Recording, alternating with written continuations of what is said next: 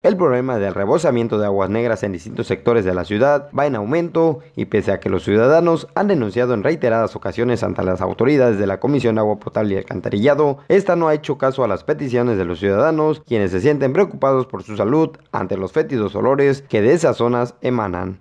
Que vienen todos los días a, verlo, incluso tengo el número de folio donde dicen que, van a venir, pero es hasta el día de hoy no llegan. Así que tener una obra en, la entrada del Oxo y que de ahí se venían para acá, pero es la fecha que no llegan. Sí, que, exactamente nos haga caso cuando uno hace esos tipos de reportes porque es muy problemático para nosotros. ¿Para la salud? Para la salud, estar viviendo esto todos los días, todos los vecinos. Hay bebés viviendo a un lado de No, es insoportable. Yo ya tengo 15 días así.